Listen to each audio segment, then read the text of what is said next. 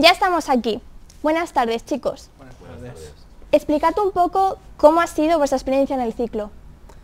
Bueno, pues yo hice hace unos añitos ya un módulo de imagen fotográfica, orientada a fotografía principalmente, y la verdad que guardo muy buen recuerdo de todo aquello, tanto a nivel personal como, como luego de cara a formación para mi trabajo actual, pues, pues ha sido una experiencia muy, muy positiva de principio a fin, o sea que guardo muy, muy buen recuerdo de, de aquello. Bueno, yo acabé el año pasado el ciclo de producción y la verdad no me, no me esperaba que iba a ser así tan difícil. Pero bueno, gracias a ello he llegado a la conclusión de que lo que me gusta es la edición de vídeo y doy gracias por ello. Bueno, contadnos qué tal en la empresa donde hicisteis las prácticas. ¿Cómo fue? ¿Era lo que esperabais?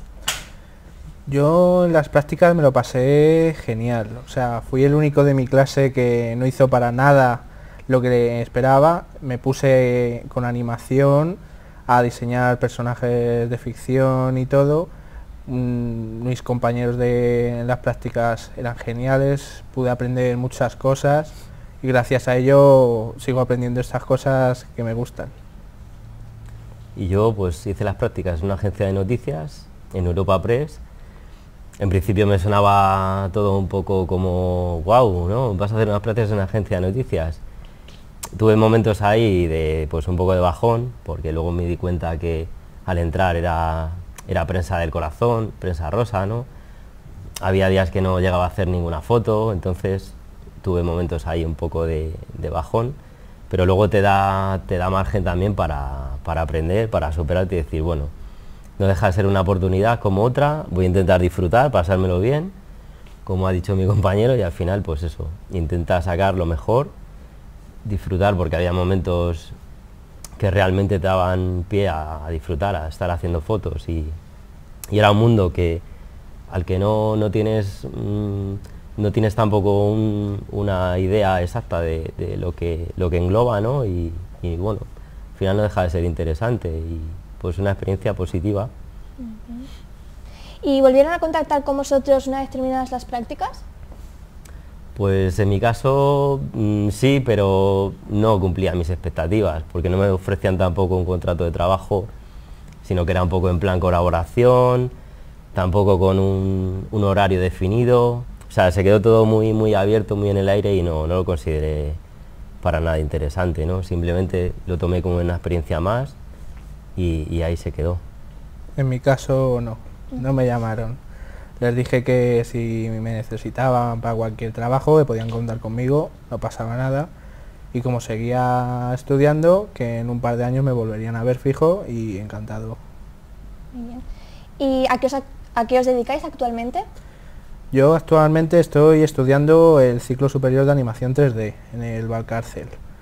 Y la verdad estoy muy ilusionado por... Es un ciclo nuevo que ha salido hace poco, con muchas expectativas de diciendo, wow, voy a trabajar en Disney, pero no.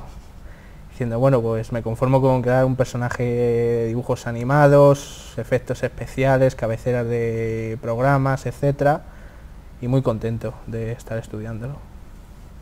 Pues yo estoy en el mundo de la fotografía de boda, que bueno, a priori eh, siempre se ha tenido una imagen un poco, mm, bueno, por devaluada, por, así decirlo, de, este mundo, ¿no? Pero bueno, una vez que te metes, es verdad que también la tecnología actual y, bueno, un poco el avance en el medio audiovi- audiovisual, pues ha ayudado a que, a que se integre un poco mejor y esté mejor visto en la sociedad y a la vez pues eso, que ahora se pueden llegar a hacer cosas muy interesantes, muy chulas, muy creativas.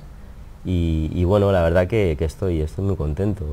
Y, es, ya te digo que sobre todo yo la, la conclusión al final que saco es esa, que, que a lo mejor lo que en un principio te puede parecer mm, poco interesante, si das la, la oportunidad y te metes y lo llegas a hacer algo tuyo y lo llevas a tu terreno, pues, pues puede dar resultados. También acompañado eso de, de gente que te rodees de gente que te, que te aporte, que siempre vas a aprender de gente, vas a conocer gente nueva y te va a aportar mucho y, o sea, al final acaba siendo algo muy, muy interesante y muy, muy bonito. Estoy muy contento, la verdad. Y bueno, para acabar, ¿qué consejos le daríais a los que están estudiando actualmente estos ciclos? Al equipo de producción les diría que, tengan paciencia, que sepan trabajar en equipo, no solo entre ellos, sino también con imagen y sonido, porque al final lo importante es, da igual si sea un cortometraje, un espectáculo, el final, cuando acaba lo que sea, lo importante es que los invitados te digan, bueno, muchas gracias, me ha encantado el programa, muchas gracias por invitarme, quiero volver, sois unos cracks y además es que todo el equipo lo agradece. Eso para mí es lo más importante. Pues para mí lo más importante yo creo que es la constancia, ¿no? En mi caso así ha sido. Yo empecé en esto, pues en el tema, pues empezamos aquí en el instituto con, con laboratorio químico, entonces bueno, ha habido una evolución, siempre tienes que estar eh, actualizado, al día y bueno, intentar encontrar tu camino de una manera o de otra, ser muy constante y decir, mm, me voy a dar un cabezazo aquí, pero bueno, me voy a levantar, voy a seguir, aunque sea ya como un reto a nivel personal, si quieres hacer algo que te gusta, suena un poco atópico, pero es así, es darte cabezazos, cabezazos, cabezazos y decir, bueno, yo al final quiero llegar a esto.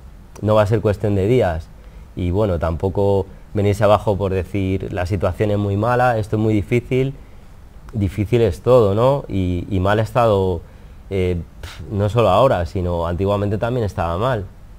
Pero siempre decir, joder, pues, ¿por qué no va a haber sitio para mí también dentro de este mundo, no? Es eso, si, si lo quieres, pues ir a por ello, o sea, no, nunca venirte abajo, aunque vas a tener momentos que de decir, mira, lo dejo, me dedico a otra cosa y tal, pero yo creo que no. la, al final es eso, yo lo que saco es siempre el, intentar seguir hacia adelante. Como decía un antiguo profesor, José Luis siempre insistía mucho en decir que había que dar mucho la lata, entre comillas, por no decir otra cosa. Y esa es un poco la idea, ¿no? Siempre en la mente tenerlo claro, decir, tengo que insistir, tengo que seguir por aquí porque es lo que quiero hacer y lo que me gusta. Muy bien. Pues nada, chicos, muchas gracias por vuestra colaboración. Ha sido un placer teneros con nosotros, nos habéis aclarado muchas dudas que seguro que muchos de nosotros teníamos. Y bueno, gracias otra vez y hasta la próxima. Y a todos vosotros, estos espectadores, muchas gracias por seguir con nosotros un programa más. Hasta mañana. Gracias Claudia. Estas han sido las noticias de hoy. Gracias por elegirnos. Hasta la próxima.